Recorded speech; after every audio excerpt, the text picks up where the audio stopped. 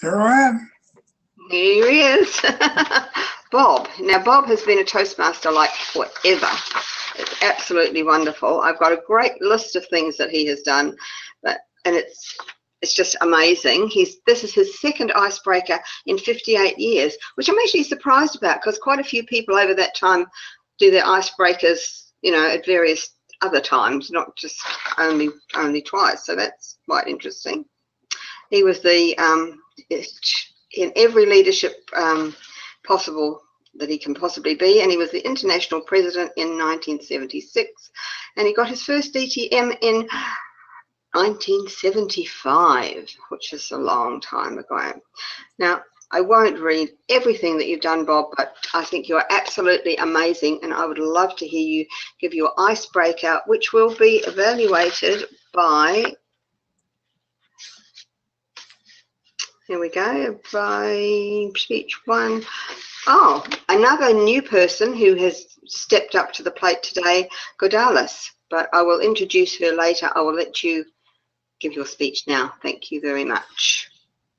Godalis, would you like to come forward so we can see that you're listening to um, Bob's speech? Yes, I will. Thank you. Because it's always better to give a speech when you've got a couple of people listening to you rather than just doing it to the screen. thank you, Bob. Oh, thank you, Graham, for coming forward too. The, the stage is yours, Bob. Thank you very much. Okay. Thank you, Madam Toastmaster and my fellow Toastmasters. We're going to take a trip today covering 70 years of my life in six minutes. That's wow. not a fabricated story. if you'll walk with me, maybe you can keep track of how many times I point out a a year that will collect that that's up to 70, 30 years, excuse me. As a young man in Ogden, Utah, where I grew up, I cleaned my grandfather's horse stables. But I did grow up and go to school. And in 1942, when I was finishing my third year of college at Utah State, I enjoyed, I joined the United States Army, excuse me, United States Marine Corps Officer Candidate Program and went on active duty on 1st of July that year. Now, through the courtesy of the warlords in Japan, I spent World War II in the Pacific. My last combat was on Iwo Jima. But in 1946, I was out as a civilian, and I went to the University of California in Berkeley to finish my undergraduate degree as a landscape architect in city planning. I moved to Washington, D.C. in 1952 and took a job with the U.S. Army Corps of Engineers as the Director of Logistics. Now, we had 65 field offices on water resources and construction management, and my staff and I had to ensure that the logistics support for those missions were there. So I traveled. 50% of my time I was on the road. I was in every state in the United States, in Europe, in Great Britain, in Italy, Saudi Arabia, Israel, Philippines, South Africa. Those are just a few places I made stops. Well, along that way, I had a wife, a very pleasant wife. We raised two children, one boy and one girl. Both of them have families, and they've given me great, great grandchildren, three boys and one girl, all under the age of five. My greatest interest right now is my great is my granddaughter. She's a Toastmaster, works with the Bank of America in Charlotte, North Carolina, and reserved her DTM three weeks ago. Very proud of. Well, we wanted to thank you. I appreciate that clock. It's good to have somebody in the family follow. Now, I started in Toastmasters in 1958. actually in October. And I've served on the board of directors and been in almost every function there is. But the interesting thing is, I worked my way down.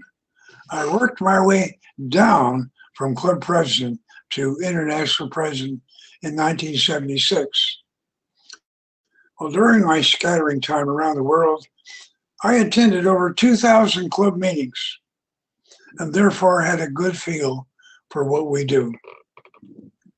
A couple things I think are important. First one is I led the battle to get the battle, the bylaws changed to allow women to join Toastmasters. We had them for a number of years, but we they were not legitimate, and we had them hidden under men's names and that, and initials and things of this sort. Hmm. I was able to get that done in 1973. That might be a basis for a story later on. I participated in setting up a reserve fund for the organization. When I found we were not able to pay our world headquarters staff, now we're a multi-million dollar operation. Changed the organization chart. For a long time, the, the organization chart showed us with the president on top and the club at the bottom. I thought that was the wrong message.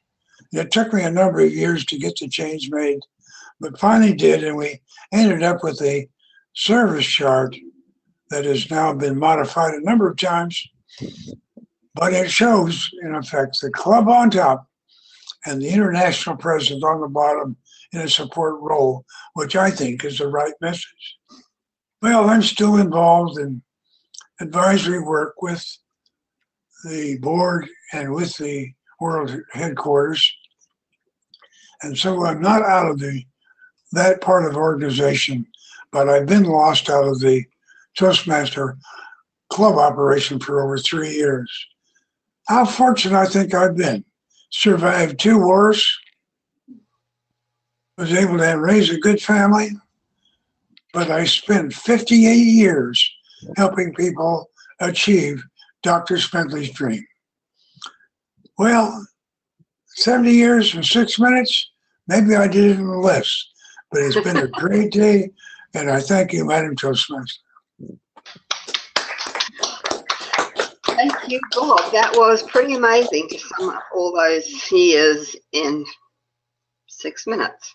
In fact, it was less, it was more like five minutes. Well done. The red comes come up now, so we're exactly exactly on time. Lots of Toastmaster experience there. You know exactly how to do it. Thank you very, very much.